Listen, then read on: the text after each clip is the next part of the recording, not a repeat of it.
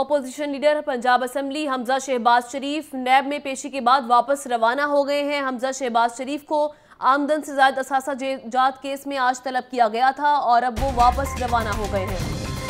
اس پر بات کر لیتے ہیں ہمارے نمائندے راہیل سید سے۔ جی راہیل۔ راہیل سید سے رابطہ کرنے کی کوشش کر رہے ہیں۔ آپ کو بتائیں کہ opposition leader Punjab assembly Hamza Shahbaz Sharif جو کہ آج نیب میں پیش ہوئے تھے، اب واپس روانہ ہو گئے ہیں اور حمزہ شہباز شریف کو آمدن سے زائد اساسہ جات کیس میں آج طلب کیا گیا تھا۔ ساتھ ہی ساتھ، سلمان شہباز کو بھی طلب کیا گیا تھا، لیکن وہ لندن روانہ ہو گئے تھے، جس کے باعث وہ پیش نہیں ہو سکے۔ لیکن opposition leader Punjab assembly Hamza Shahbaz Sharif آج نیب میں پیش ہوئے ہیں اور پیشی بھگتنے کے بعد اب واپس روانہ ہو گئے ہیں۔ اس پر بات کر لیتے ہیں راہیل سید سے۔ جی راہیل، بتائیے گا۔ جی آج نیب میں ہم، جو اپوزیشن لیڈر حمزہ شہباز شریف انہیں نیب میں طلب پر رکھا تھا، جبکہ ان کے بھائی سلمان شہباز کو بھی طلب کیا گیا تھا۔ اثاثہ جات کیس اور چنوٹ پر رمضان شوگر مل کے لیے بننے والے جو پول تھا، اس حوالے سے ان سوالات کیے جانے تھے۔ سلمان شہباز کو لندن میں ہونے کی وجہ سے پیش نہیں ہوئے، جبکہ تقریباً ڈھائی گھنٹے تک نیب نے حمزہ شہباز سے تحقیقات کی حمزہ شہباز نے نماز جمعہ بھی جو ہے نیب کی مسجد میں ادا کی۔ اور اس کے بعد نیب کے جو سوالات تھے، اس کے جوابات دیے ذائقہ کہنا یہ کہ دوران جب ان سے تحقیقات کی جا رہی تھی تو ان کا کہنا یہ تھا کہ رمضان شوگر مل کے حوالے سے ان کے پاس کوئی ریکارڈ موجود نہیں ہے کیونکہ وہ ڈائریکٹر جو ہیں، سلمان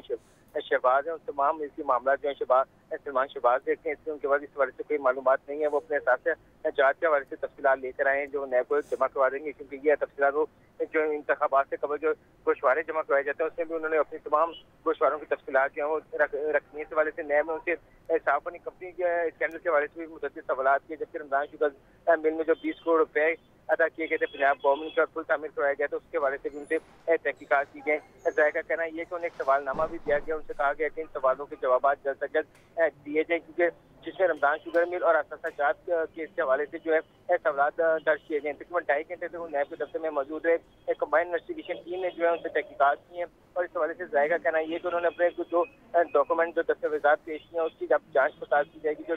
نیب نے اپنے ذرائع سے جو ریکارڈ اکٹھا کیا مختلف سرکاری محکموں کی جانب سے جو ریکارڈ آیا گیا اس کو دیکھا جائے گا اور اب راہیل جس طرح سے آپ بتا رہے ہیں کہ سلمان شہباز کو بھی طلب کیا گیا تھا لیکن وہ پیش نہیں ہوئے وہ لندن واپس چلے گئے ہیں۔ ذرائع کیا بتا رہے ہیں کہ وہ کب تک لندن سے واپس آئیں گے اور اب نیب کا اگلا لائحہ عمل کیا ہوگا اس حوالے سے؟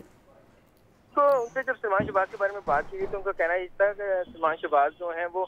ذاتی مصروفیات وجہ سے لندن میں موجود ہیں اور جو ان سے